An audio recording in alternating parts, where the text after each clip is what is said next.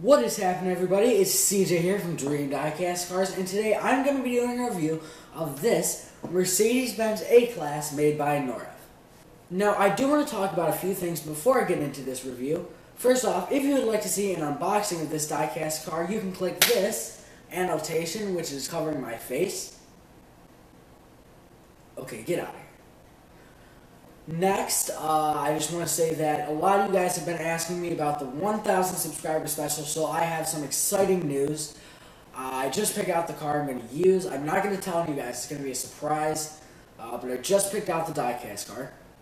So uh, Bernardo and I are going to do it together. We're going to start shooting it next week, and it will be out the week after. So get excited because that is going to be awesome. Uh, no, Edward Stepanian, it was not the Dodge Viper, because I actually really like that car, it's not even mine. Uh, next, there's this awesome guy called Diecast Lee on Facebook that I forgot to mention uh, last video, who gave me a ton of likes on my Facebook page, so I now have like 130. He gave me probably like 100, or at least close to 100. But thanks to him, I did break the 100 mark, so thank you very much, Diecast Lee. You are awesome. And uh, I told him I was going to give him a shout out. He said it wasn't even necessary. So just a, a great guy, but he totally deserved the shout out. So thank you so much. And I'm not going to bore any of you guys anymore. Let's get right into this review. Now, one of the things that I would like to say about this diecast car is that I think the paint color is just beautiful. This matte gray color is uh, absolutely gorgeous. Just completely makes the car. So with that out of the way, let's talk about the front of this diecast car and we will start with the lights, which are replicated very nicely. The, uh, the plastic is extremely clear, looks very good, made out of nice hard plastic, which does not feel flimsy. All the detailing in the inside is done nicely, and the bulb, uh, I think, looks really good. Move along to the center of the front of this diecast car, and you will see uh, this logo, as you know, or as you probably know at least, uh, Mercedes usually have two logos, and the bigger one, uh, the bigger three-pointed star on the front, is done very nicely. Looks just like the ones on the real car, with this sort of covering over it, just like the ones have on the real ones, and the black behind it, with the very metally looking three-pointed star, looks I mean, just looks almost too good for words. Just looks perfect to the ones on the real diecast car. If only they had done that for the logo up here, which is just a cheap sticker, which kind of makes me mad. I mean, it's not even put on well. The sticker itself seems kind of nice because they're like the three point star pops out a little bit. Sorry about my little voice and my uh, me clearing my throat. Uh, but nevertheless, uh, the sticker it's nice for a sticker but first off, it should not be a sticker. I mean, the car was not cheap.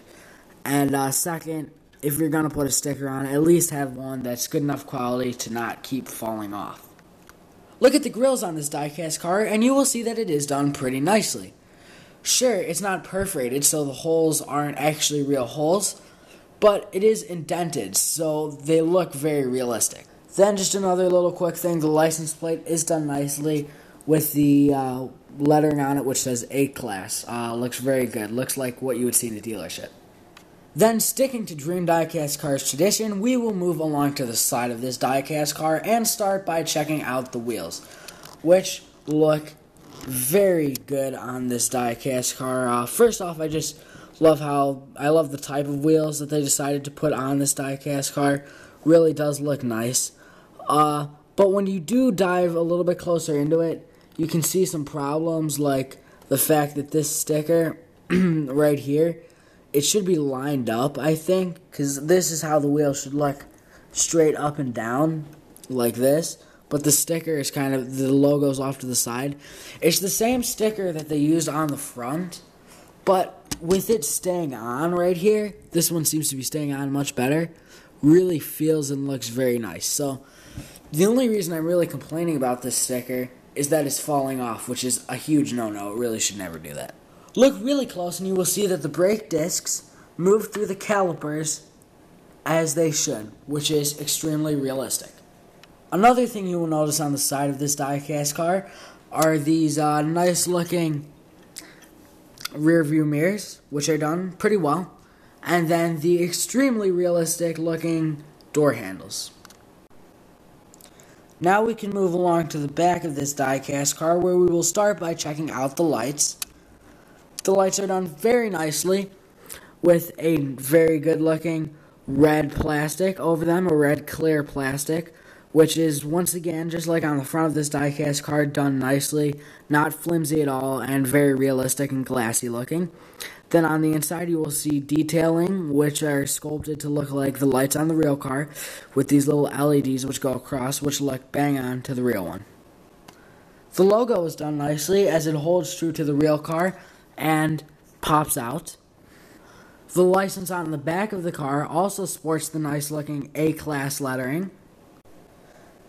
Then look lower down and you will see the extremely nice looking exhausts they do not have the chromed backs, so they look perfect and very realistic.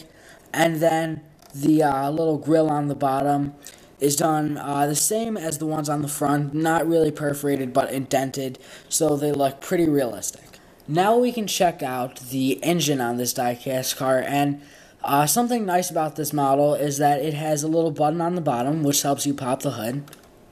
I really wish all model cars had this, so see if you can see it right there. It's very hard to see, which is good because it's easy to feel, but it's not easy to see. So the model car still looks very realistic. So you press it, pops up the hood a little bit, and then it's very easy to open it up.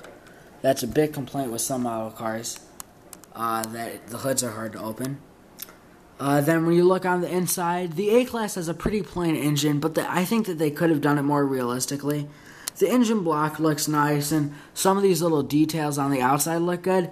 But this little side right here, and I know it's kind of hard to see. Let me try to get in the light more. Uh, this just looks really plain. Like they could have done it more. They should have added a little bit of wiring and stuff. This side looks a lot better than this side, in my opinion. Another complaint with the engine is that it has no depth. Sure, from the way you guys see it, it might look pretty good. You know, you've got these main little components. Sure, there are none of the little wirings that you would get on more expensive diecast cars, but it looks pretty good. But then what you guys can't really see on the camera is that you look down a little bit and it looks very plain. There's no depth at all. Now we can move along to the trunk of this diecast car, and one problem I have with it is this big panel gap right here. Looks very unrealistic, and you can find it on both sides of the back of this diecast car. When you look inside the trunk, you will notice that it does sport felt down lower there. I'm sorry, the lighting's kind of bad today. Uh, but there's a nice layer of felt right there. There's not really too much to see, so you guys aren't missing too much. And then you've got this little uh, uh, thing up here which prevents people from seeing into the trunk. But that's about all. And you know, after all, it is just a trunk. So now with all that stuff out of the way, we can delve into the most interesting part of most diecast cars, which is the interior. And this diecast car definitely does hold up to standard. The steering wheel is from Mercedes Sport Package with the three prong steering wheel. Then you have all the air vents, which look pretty realistic, and the dials back there. The sides of the doors look very nice with all the little buttons down here. You've got the door handle over here, which looks very nice. I'm saying that way too much. Then down lower, you can see the foot pedals uh, look like they're made of real metal. And then this diecast car has felt, which is very nice and very. Look on the passenger side, and you will see more very realistic looking air vents you will see the sat nav screen, which looks once again perfect. Down low, you will see some buttons for the radio, and then even lower, you will see the little dials for the aircon. Once again, the passenger side has felt, as you would expect. And if you look really carefully, I know this is kind of hard for you to see, you will see that the seats have the little stitching, which makes them look like they're made of real leather. Then, when you look uh, below the doors, you will see the door sill uh, which looks very nice. I can't tell if it's metal or a sticker, so if I can't tell, then that's a good sign because if it's metal, then it's nice that they use metal. But if it's a sticker, then it's an amazing sticker, and I mean, that's just good quality. and it's kind of hard to see like this, but it does have Mercedes Benz inscribed in it. Now, with the front of the interior out of the way, let's take a look at the back. Which is replicated very nicely. Once again, the back includes felt, as it should. Just like on the front, the seats have the little stitching, if you can see it, and then the side of the doors are done nicely with you've got this little pattern which makes it look and feel very realistic. The door handle is carved perfectly into the door, just like the one on the real di- on the real car. And then right there, you've got a little pocket, just like the real car would have in its door. So now onto the ratings, and keep in mind that you can find this diecast car for only a hundred dollars online. Now, to some of you beginning collectors, that may sound like a lot of money, but for this quality, it really isn't this diecast car is definitely AUTOart quality. And yes, you can find some AUTOart diecast cars for $100, but usually they're 150 to 175 for the average AUTOart. So, uh, something that you don't usually see here on Dream Diecast cars, both ratings are going to be the same for this. The rating without price and the rating including price. Both are going to be A's. And that is because the price is uh, a very good price and the quality is very good. So without price at all, it wouldn't be an A plus obviously, but it would still be an A. And since the price is so low, um, it's definitely an A because you know sometimes if you have a really expensive car, uh, that's A without the price. You can see me rating it as a, like a B or even a C with the rating with price just because it's so expensive. But this diecast car definitely is not. You can find it for a very good price. Well, everyone, that's all for this Model Car Monday. Thank you all for watching. And as I said, get excited because the 1,000 subscriber special will be coming to you guys very soon. In the next coming weeks, uh, I'm going to be filming it very soon, and I will be announcing which diecast car I'm going to be using sometime midweek. So I will see you then. Goodbye, everyone.